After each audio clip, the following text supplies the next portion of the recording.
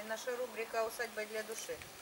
Сегодня поговорим о приподнятых грядках, что это такое, для чего они нужны, и покажем все на примере наших личных грядок. Я сейчас стою возле э, двух своих грядок, которые ведут в банный комплекс. У нас тут э, веселье в разгаре, кальян дымится, Вместо того, чтобы им заниматься, мы занимаемся роликами. Как видите, дорогие друзья, спешим вам все показать, все рассказать, не до кальяна, как говорится. Что такое приподнятые грядки? Я не случайно начала с этого места для того, чтобы вы поняли разницу. Вот здесь находится грядка, которая э, практически на уровне земли.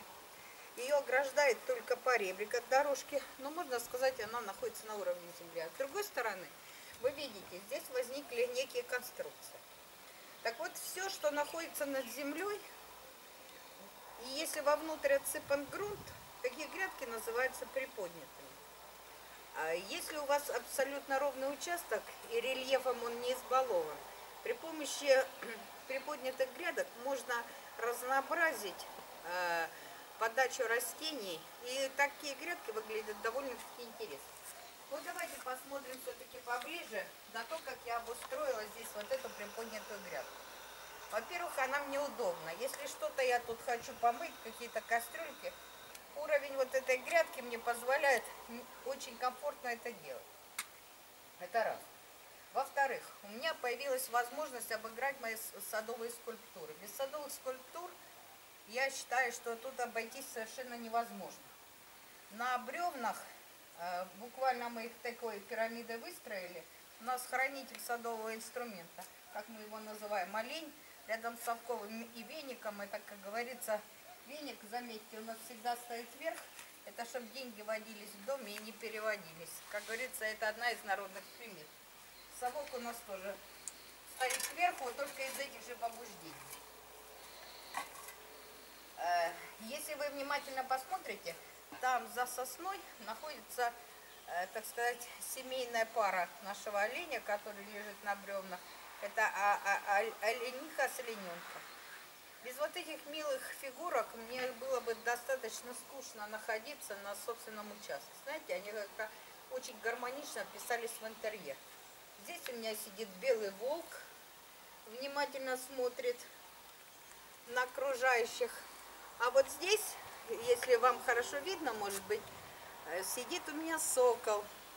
И некоторые, он настолько комфортно сидит в вазе с камнями, что некоторые даже пугаются, думают, что он живой. То есть спасибо мастерам садового искусства, сейчас делаются исключительно красивые вещи. Но вернемся к нашим грядкам. Что мне позволили приподнятые грядки сделать?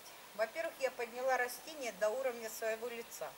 Мне комфортно его потрогать, комфортно с ним пообщаться. Тем более, вот обратите внимание, здесь у меня посажена одна из разновидностей горной сосны. Она растет в виде яйца, вот это ее естественное совершенно произрастание. Здесь я себе посадила можжевельники, роскошную ель-гнездо. Она так и называется ель-гнездо, поскольку она растет больше вширь, чем в высоту. Вот. И действительно выглядит как искусно созданное гнездо. От яруса к ярусу я продвигаюсь.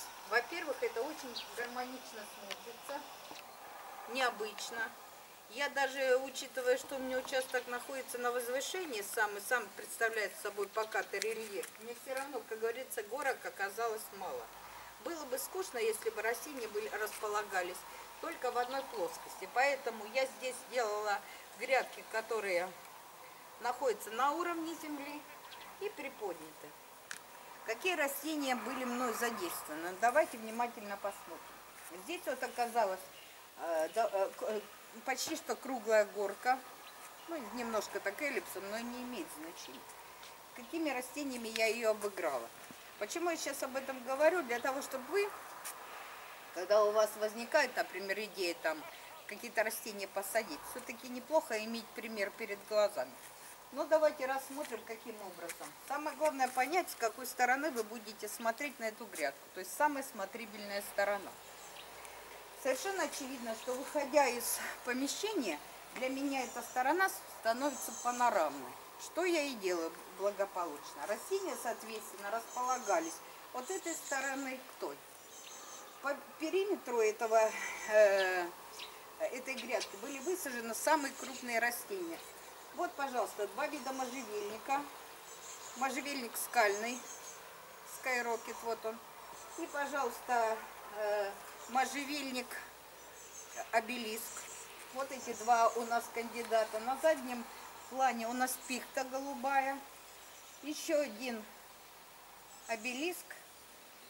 И два можжевельника тоже скальных, э, но уже не скайрокетов, а, сожалению, сейчас не, не помню, как они называются, но не суть важна.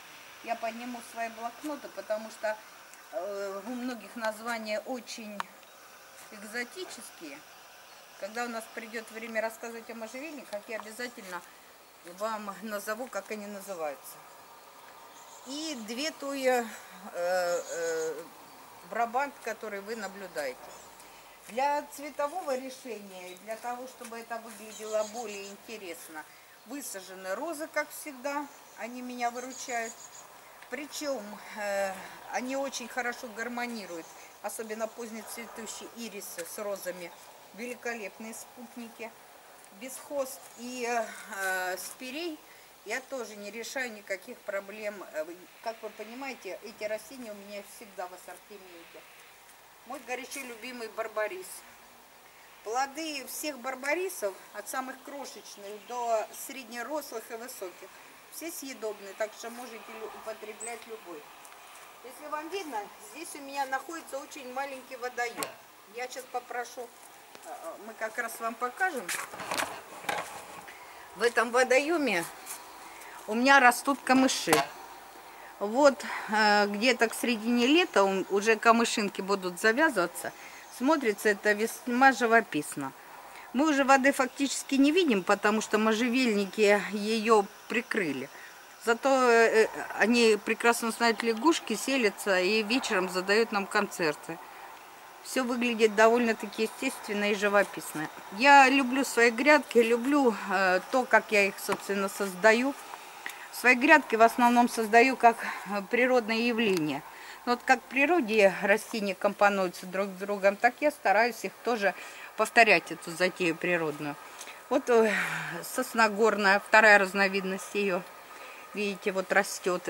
Сосны горные – это одно из самых моих любимых используемых в ландшафте растений. Почему я их использую? Потому что они очень компактные, хорошо растут и хорошо гармонируют с другими более мощными растениями. Древовидный пион, который мы сажали, уже делали о нем ролик. Так что вот так вот на маленькой площади. Грядка здесь совершенно небольшая, поскольку она эллипсом от 4,5 э, метров, она сходится практически к нулю. И вот таким образом у меня расположены растения смотрю я с дорожки при выходе, вот поэтому вот так панорама и была сделана. Давайте посмотрим на эту грядку еще раз, которая находится по другую сторону дорожки. Дадим вам возможность полюбоваться этой композицией.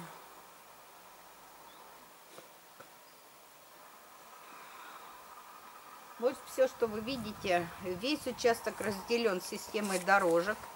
Ни одной прямой дорожки у меня нет. Все они с изгибами плавно переходят одна в другую через разводные площадки более широкие. А, разводят э, население, которое сюда э, приходит от одного объекта к другому. Свободное пространство отведено для декоративных грядок. Вон у нас тут птички снуют. В общем, жизнь бьет ключом. Так, давайте посмотрим сюда. Опять же, все те же растения как видите, можно базироваться на одной и той же группе фактически растений. Вот можжевельники, ель, о которой я говорила. Моя несравненная спирея, которая желтыми листьями всегда у меня как бы немножечко разбавляет зелень. Ирисы, можжевельники. Вы можете просто любоваться и смотреть. У нас сегодня же экскурсия. Наша задача вам просто показать, как это все выглядит. На заднем плане уже э, расцвели почвопокровные розы, как вы видите. Темно-красные, это более ранние. Остальные еще только готовятся к этому моменту. Возле нашей качельной вот такая вот широкая, э, это не елка, это цуга, так называемая канадская. О ней мы тоже будем рассказывать в свое время. И рядом я еще там у меня молодое дерево груши. Сад, как правило, я увязываю вместе с остальными растениями. Для того, чтобы вам стало э, понятно, как сад можно обыграть вместе с вечно зелеными и прочими, я вам покажу это в отдельном ролике. А сейчас у вас есть возможность просто полюбоваться, каким образом мы вписали садовые строения. Вот, как мы это все обыгрывали. Вот все время говорят, вот покажите, как оно выглядит. Вот я сегодня вам и сделала, в принципе, экскурсию. Мы сейчас будем переходить от одного фрагмента сада к другому и внимательно его рассматривать, для того, чтобы у вас, в общем и целом, сложилось правильное впечатление. Вот грядка, которая находится перед вами, эта грядка задумывалась с таким расчетом, чтобы у меня перед глазами возник лес. Почему я с таким расчетом закладывала эту грядку? Как вы видите, впереди стоит дом. Дом довольно-таки громоздкий и объемный. Сажать мелкие растения было совершенно не актуально, поэтому растения там подобраны с таким расчетом, чтобы они имели мощь и силу подняться на большую высоту. И со временем мы фактически не будем видеть даже окон второго этажа. Растения посажены с таким расчетом, там крупнокалиберные ели, краснолистная слива. Вот это вот растение с бордовыми э, листьями. Многие спрашивают, что это такое. Это краснолистная слива. Она более декоративна, но дает прекрасные плоды рубинового цвета. Плоды съедобные, так что не очень крупные, но зато достаточно сладкие. Мы сейчас для того, чтобы не разглядывать все в призму, подойдем и посмотрим на эту грядку фрагментами, но укрупненно. Вот еще один вариант приподнятых грядок. Я вам говорила, что, собственно говоря, их у меня достаточно много на участке. Э, что э, дает мне приподнятая грядка? Но в данном случае здесь она мне дала возможность. Есть рельеф, если вот так посмотреть по прямой, за вот этой березой находится розарий, который мы уже показывали в своем ролике. А продолжением розария у меня здесь как бы природная грядка. Я ее специально сделала таким образом, как будто у меня здесь маленький лес.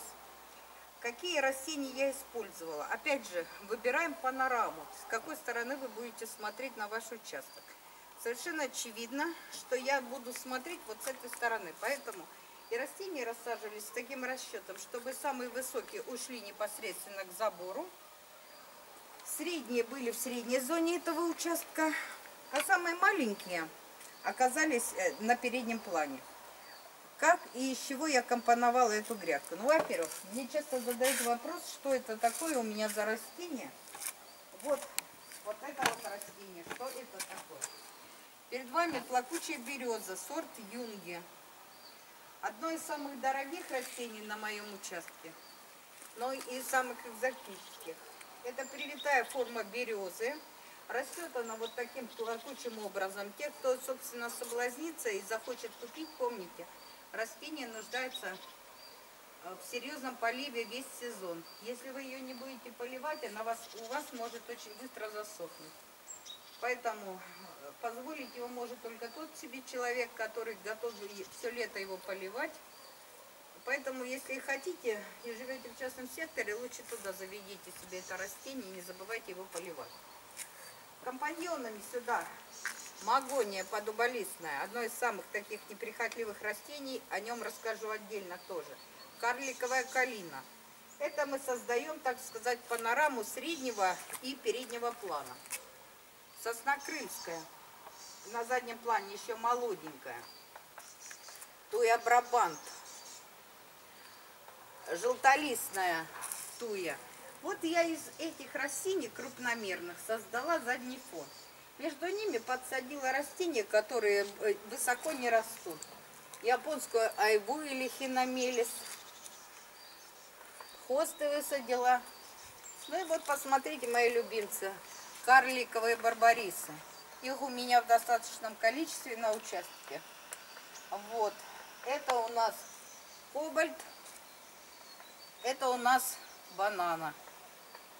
Вот вам такие вот названия смешные, но с другой стороны, это мои фавориты, мои любимцы.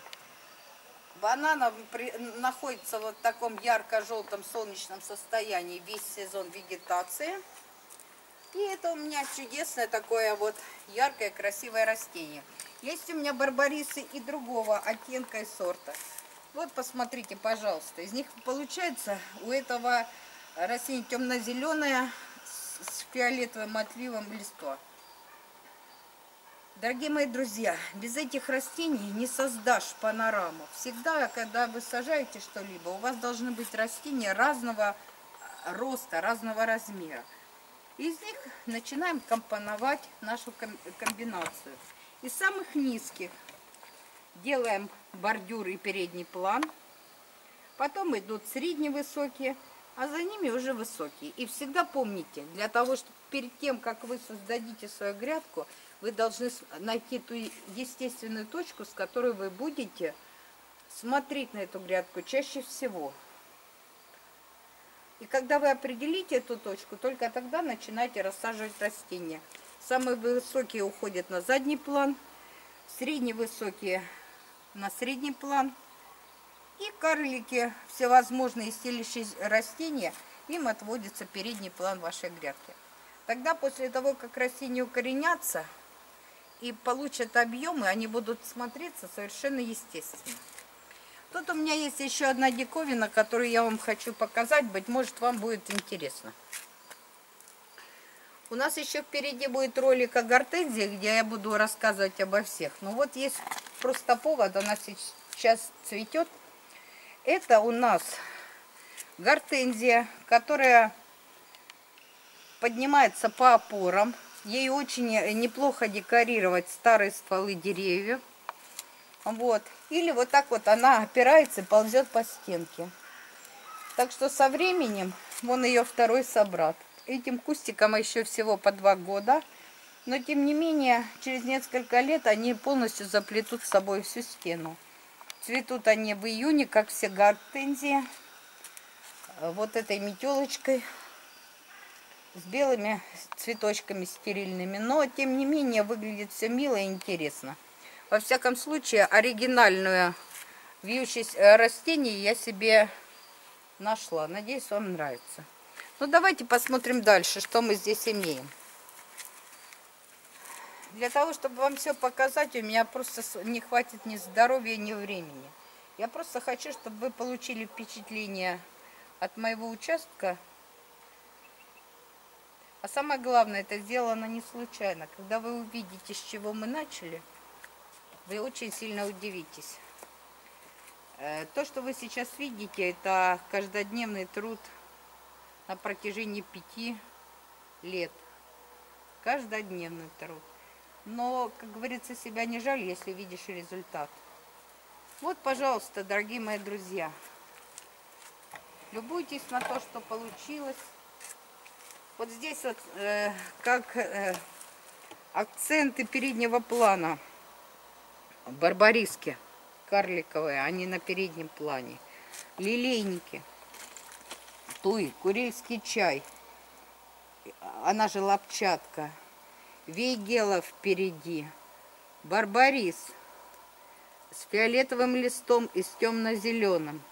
Все задействовано на том, я вот знала, какого будут размера растения. Я не случайно вам э, э, про них рассказываю для того, чтобы вы имели представление о тех растениях, которые бы вы хотели завести в саду. Так что, дорогие мои друзья, я надеюсь, вам нравится то, что вы видите. А мы перейдем сейчас к очередной грядке, чтобы показать, как я э, э, вплела сад в вечно зеленые растения.